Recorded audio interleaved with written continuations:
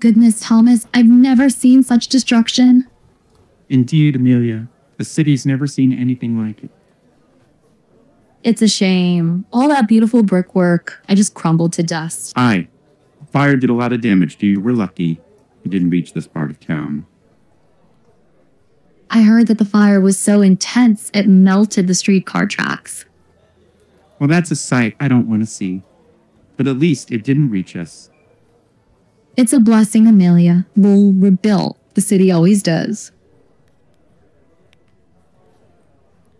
Hi, Amelia. What happened to your house? Oh, hello there. Well, I suppose I'm one of the fortunate ones, all things considered. My house is still standing, thank the Lord, but it's not without its share of damage. The chimney came down during the quake, and there are How do you cracks in the the wall. streetcar tracks will affect your commute to work?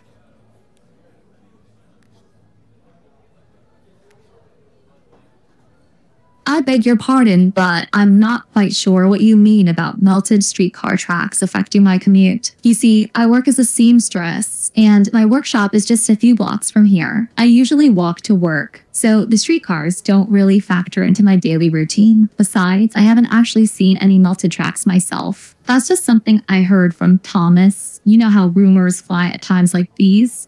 It's hard to know what's Okay.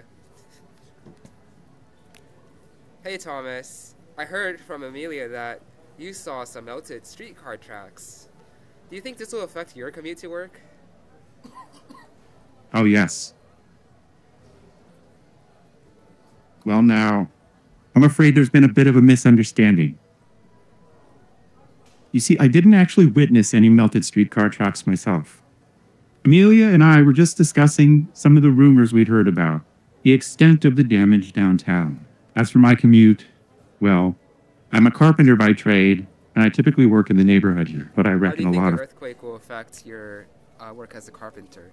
Do you think you will have a more more employment? Well, I'll tell you, it's likely to affect my work quite a bit, and in ways I never could have imagined before. I see.